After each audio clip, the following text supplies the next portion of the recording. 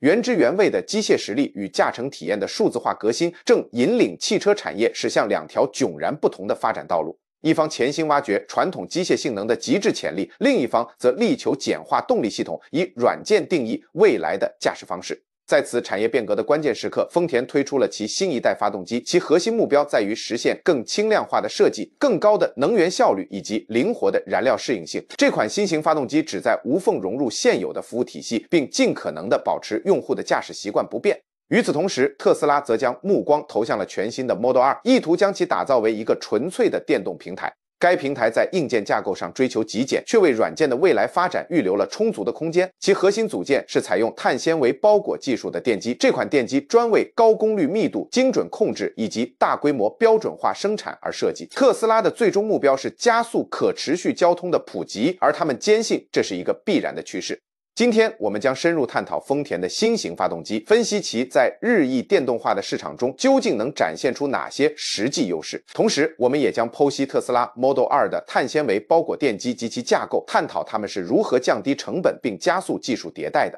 在未来的五到十年内，究竟是深耕机械边界，还是聚焦于电力驱动技术，让软件主导发展节奏的路径更具前瞻性？请持续关注未来科技，点击订阅并开启提醒，一同探索行业的核心洞察。丰田全新发动机技术，重塑汽车性能与能效标杆。在汽车工程领域这场变革的浪潮中，丰田最新的发动机技术代表了一种独特的动力总成开发策略。它并非完全转向纯电动，而是在传统内燃机的基础上进行创新。通过与斯巴鲁和马自达的合作，丰田研发出这一代新型内燃机，旨在应对当前汽车行业面临的关键性能与环保挑战。其核心创新在于发动机尺寸的优化。丰田通过显著缩短活塞的运动距离，这是一项关键的工程参数，成功将发动机的体积缩小了百分之十到百分之二十。作为参考，目前主流紧凑型轿车的发动机排量通常在一点五升到二点零升之间，而丰田的新设计有望将排量降低至一点二升到一点六升，同时保持甚至超越现有发动机的动力输出水平。这种紧凑的设计直接带来了车辆空气动力学性能的提升，更低的发动机轮廓有助于将风风阻系数降低零点零五，从而在高速公路行驶时有望提升百分之三到百分之五的燃油效率。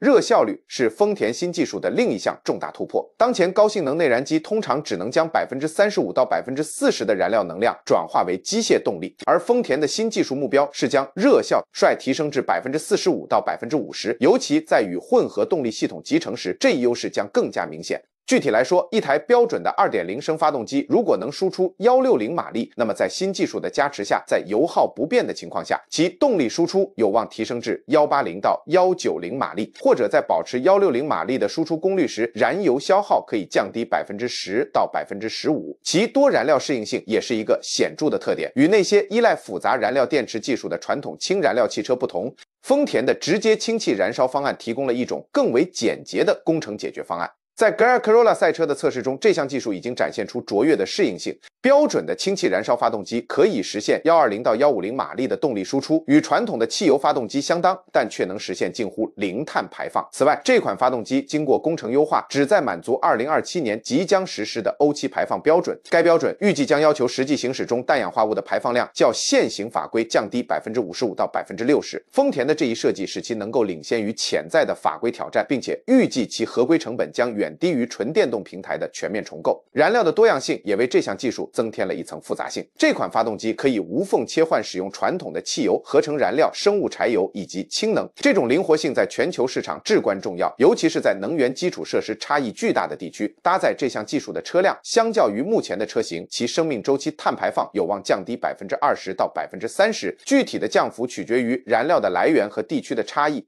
如果今天您需要购买一辆新车，您会出于便利性选择燃油效率高的汽油车或混合动力车吗？如果是这样，请在评论区留言一，或者您是否认为电动汽车代表着未来，并会全力投入其中？如果认同这个方向，请在评论区说明您的理由。顺便一提，我们正全力冲刺一千位订阅者，不要让我们的视频白白制作，请点击订阅按钮，加入未来科技社区，别错过特斯拉的下一个重大突破——特斯拉的碳纤维包裹电机，重新定义电动推进的未来。特斯拉的技术理念从根本上颠覆了传统的汽车工程模式，其整体化思路远不只是用电动机取代内燃机。该公司的电机技术充分展现了其对未来交通运输的宏大愿景，即将动力系统、储能技术与可持续基础设施融合成一个统一的生态系统。特斯拉电动机的性能指标堪称革命性的突破。以两千零二十四款 Model 3高性能版为例，其输出功率高达四六零马力，零到六十英里每小时的加速时间仅需二点九秒。这款车型充分展示了电动驱动的内在优势。与需要依赖复杂传动系统才能输出动力的传统内燃机不同，电动机可以提供瞬时扭矩。这一特性从根本上改变了驾驶体验，能效表现是特斯拉技术优势的另一个关键维度。最先进的内燃机仅能将百分之四十到百分之五十的燃料能量转化为机械运动，而特斯拉电动机的能量转换效率却高达惊人的百分之九十到百分之九十五。这绝非简单的改进，而是一场范式转变。它挑战着汽车工程领域最基本的假设。Model 3长续航版配备七十五到八十二千瓦时的电池组，单次充电可行驶约三百二十八英里，约五百二十八公里。其快速充电能力可以在短短二十到三十分钟内补充百分之八十的电量。在竞争激烈的电动汽车工程领域，特斯拉的碳纤维包裹电机堪称一项技术杰作，它颠覆了传统的汽车设计范式。这项开创性技术最初应用于 Model S Plaid，随后也出现在特斯拉半挂卡车上，标志着电动机设计实现了质的飞跃，远远超出了传统的工程理念。其核心创新在于特斯拉对转子结构的革命性突破，通过使用精密制造的碳纤维套筒取代传统的金属转子结构，该公司同时解决了多个关键的工程难题。碳纤维包裹技术使得转子在极端的转速下能够实现前所未有的稳定性，电机转速可以达到每分钟二十零零零转。这一数值比传统的电动机性能提升了近百分之五十，这并非简单的渐进式改进，而是对电动机架构的根本性重构。性能指标有力地印证了这项技术的优势。Model S Plaid 搭载的碳纤维包裹电机展现出颠覆传统汽车物理学的加速性能，其零到六十英里每小时的加速时间仅需令人难以置信的一点九九秒。这一成就得益于精密的三个电机布局，通过策略性的动力分配，一个电机专注于效率优化。而两个高性能电机则全力提供极限加速，由此打造的动力系统可以爆发出高达一千零二十马力的功率。如此强大的性能足以使其跻身超级跑车的行列。制造工艺本身也是一项重要的技术突破。特斯拉在其位于德国的工厂原格鲁曼工程基地研发出专用的绕线机，可以实现碳纤维纳米级的精度铺设。核心的挑战在于制造出能够承受极端离心力，并能在温度波动下保持尺寸稳定性的高张力碳纤维套筒。传统的制造工艺无法满足如此高的公差要求，这迫使特斯拉重新思考电机的生产技术。这款电机的独特之处在于其整体的工程设计理念。碳纤维套筒不仅提升了性能，更从根本上革新了热管理和结构完整性。通过使转子始终处于压缩状态，特斯拉突破了传统电动机的诸多限制。通过精密的工程设计，他们消除了碳纤维与铜材之间热膨胀的差异，确保在从极地严寒到沙漠酷热等极端工况下都能保持最佳性性能。关键在于，这并非仅仅是实验室里的奇迹。特斯拉已经成功的将这项技术应用于大规模生产体系，将前沿的工程理念转化为可行的制造方案。碳纤维包裹电机不仅是一项技术突破，它更彰显了特斯拉在电动汽车驱动领域不断突破可能性边界的战略决心。特斯拉碳纤维包裹电机技术的实际应用，清晰地展现了一条战略路线图，其意义远不止实验室的演示。二零二一年推出的 Model S Plaid 正是这项概念的终极验证。这款车型以令人惊叹的不到两秒的零到六十英里非小时加速时间，以及高达二零零英里的最高时速，彻底颠覆了人们对电动汽车性能潜能的认知。这项技术的普适性在特斯拉半挂卡车上得到了更进一步的体现。碳纤维包裹电机的配置超越了高性能乘用车的范畴，通过集成三台精密设计的电机。特斯拉打造的商用卡车解决方案，在效率和性能指标上都对传统的柴油动力总成发起了挑战。这种多电机方案实现了前所未有的扭矩分配和动力总成灵活性，预示着商用运输技术将迎来更广泛的变革。展望未来，即将推出的特斯拉 Model 2或被称作红木版或 Model Q，将为碳纤维包裹电机技术开辟激动人心的新领域。红木这款代号的紧凑型电动车计划于二零二五年面世，旨在以低于三万美元的售价普及高性能电动出行。埃隆·马斯克暗示，该车型将整合先进的电机设计，有望在单电机配置下实现高达两千五百牛 M 的轮毂扭矩。尽管这一数值不及三电机 Model S Plaid 版幺零零零零牛 M 的惊人表现，但足以超越大多数小型竞争对手，例如雪佛兰 b o t u v 的三六零牛 M 或日产 Leaf 的三二零牛 M。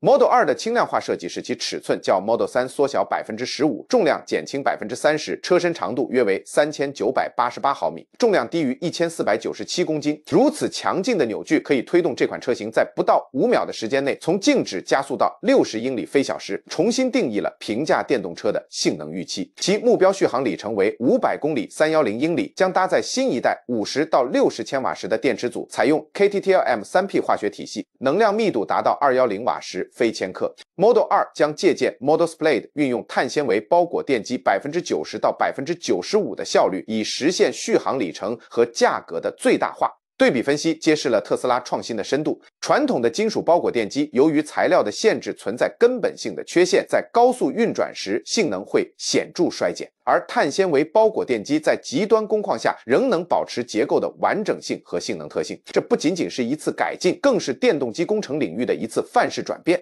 特斯拉的碳纤维包裹电机在性能上全面超越了丰田的新一代内燃机，也暴露了丰田在混合动力和氢能探索方面的局限性。面对特斯拉在电动技术领域的领先地位，丰田最新的内燃机设计通过紧凑的结构和多燃料选择实现了增量式的优化，并能够无缝集成到混合动力系统中，以满足日益严格的排放标准。而特斯拉的碳纤维包裹电机则是完全为电动驱动从零开始设计的，带来了爆发式的加速性能和无与伦比的响应性。其碳纤维套管能够承受极端的旋转力矩，这是丰田的内燃机方案所无法比拟的。当丰田仍在不断完善一项拥有百年历史的技术时，特斯拉的电机正在重写行业的规则。其设计无需齿轮，也没有排气系统。丰田的战略压注于多功能性，试图使传统发动机能够适应合成燃料或氢能，但这种灵活性是以复杂性为代价的。内燃机固有的低效特性依然存在。相比之下，特斯拉的电机能量可以直接传递到车轮，损耗极低，带来了更加平顺和强劲的驾驶体验。这正是丰田多级能量转换过程难以企及的。例如，丰田的发动机需要精密的散热管理来降低热能的损耗，而特斯拉的碳纤维包裹转子可以在更宽广的温度范围内。保持稳定，确保性能的恒定。无论在严寒还是酷暑条件下，这些都对丰田机械系统的耐用性提出了更高的要求。经济性和环保优势也进一步向特斯拉倾斜。碳纤维电机的流线型设计大大降低了维护需求，无需更换机油，活动部件也更少。而丰田的燃油车，即使是混合动力车型，仍然会受到燃料成本和保养周期的限制。在环保层面，特斯拉的零排放特性完全超越了丰田对燃料供应链的依赖。即使氢能的未来一片。光明，特斯拉也能与不断扩展的可再生能源电网无缝衔接。丰田通过多燃料适应性来控制排放的努力，最终难以达到特斯拉纯电架构彻底消除尾气污染物的本质优势。丰田面临着更为陡峭的攀登之路，其混合动力技术的升级需要昂贵的设备改造才能满足未来的法规要求。而特斯拉的电机技术已经实现了全系车型的覆盖，从豪华轿车到经济型紧凑车。